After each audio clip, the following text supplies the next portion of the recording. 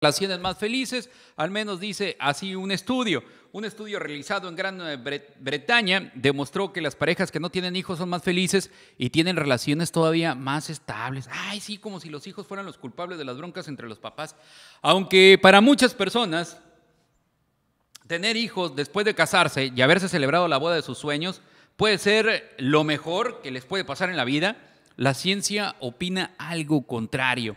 Quienes pasan por problemas de pareja y creen que tener uno o varios hijos puede ser la solución para llevar una relación más estable, esto no siempre es lo mejor. Bueno, la neta, el planeta, los hijos no eh, te van a indicar si el matrimonio es bueno o el matrimonio es malo. Eh, de pronto sí hay parejas que le echan la culpa a los hijos y hay otras parejas que dicen los hijos no tienen nada que ver, aquí la bronca es nada más entre tú y yo. Y efectivamente, así es. Los hijos no tienen nada que ver con las broncas familiares, amigos del auditorio, la bronca entre parejas.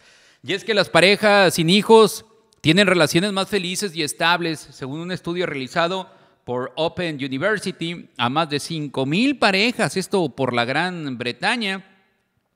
Los datos revelaron que si las personas desean alcanzar una gran felicidad en pareja, es mejor no tener hijos. Resulta que de esta manera estarían más satisfechos y es más probable que se sientan valorados por su pareja. Pues el estudio demostró que a veces se olvidan también los cumplidos por atender a los hijos. Añil, una de las claves para mantener las relaciones sanas es decir gracias, hacer cumplidos con frecuencia y hacerle notar a su pareja lo mucho que te importa. De hecho, una investigación también encontró que los padres heterosexuales realizan menos esfuerzos en su relación, eh, colaborando menos en las tareas del hogar y son menos propensos a decir te amo o hablar de intereses compartidos. Pero mi mujer ya sabe que la quiero mucho, pues.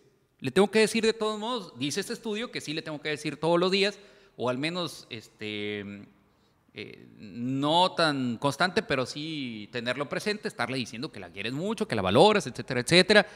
Aunque eh, pues hagas tú algunas cosas que así lo demuestren y, que no salgan precisamente de tu boca. El caso es que este estudio, amigo del auditorio, dice que las parejas que no tienen hijos son más estables y son más felices híjole, pues ahora sí que yo tengo aquí la responsabilidad nada más de presentarle la información, pero si me lo permiten a mí, este, amigo del auditorio, expresarle mi opinión personal, no, yo no, yo no coincido una, una vida ya de grande, a esta edad, sin hijos, ¿no? Eh, para mí, eh, pues es lo más importante que tengo en la vida, la verdad es hecho de paso.